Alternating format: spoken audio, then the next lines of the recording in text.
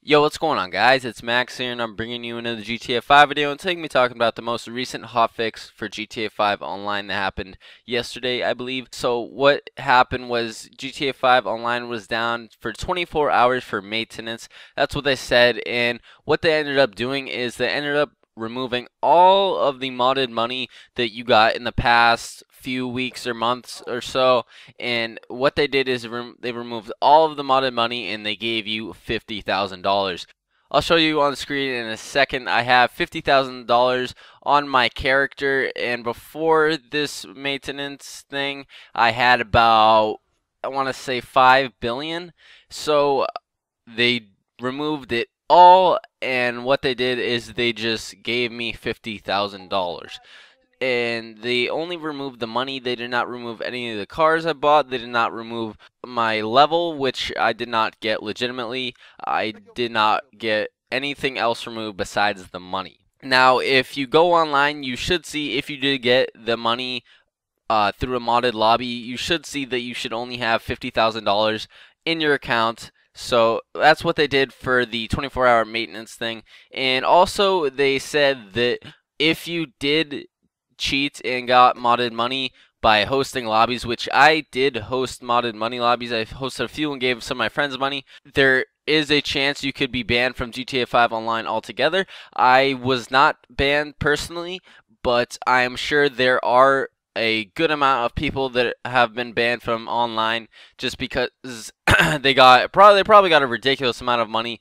and uh, a ridiculously high level, and they definitely got banned for doing that and giving everyone else money. So that's what they did with the 24-hour maintenance thing, and um, they basically also patched the modded money lobbies, and the, the servers are no longer working. They patched those a few weeks ago, but uh, some people were still making videos claiming to have working servers, but they're all lying, and those aren't legit. Those are just to get subscribers. So basically, anyone that did that is a liar, and they were just out for the subscribers and followers and stuff like that. But uh, all the modded money lobbies are patched, and if you do find another way to do it, I am almost certain you're going to get banned immediately because uh, they're not having any of it anymore. If it happens anymore, it's definitely going to result in you getting banned. Definitely not going to work out by doing that. So that's basically all I would like to talk about. If you guys haven't checked on your GTA 5 accounts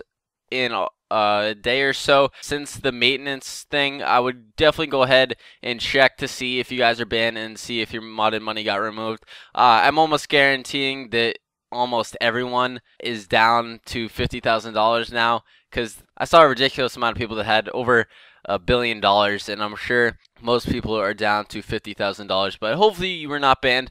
Me personally, I am not, so I am very lucky, and I am happy that I did not get banned because I, of course, did partake in the modded money lobbies. So I'm a little mad that they took away my money, and there really isn't any other way to do it. But um, that's that's what happens. I cheated and I deserve to get my modded money removed. So that's pretty much it for the video, guys. Hopefully you found it entertaining. If you did, I'd really appreciate it if you leave a like on this video. It really helps my videos get out there, helps more people notice them. And if you guys are new, go ahead and hit that subscribe button for more daily GTA 5 content on my channel. And that's pretty much it, and I'm out. Peace.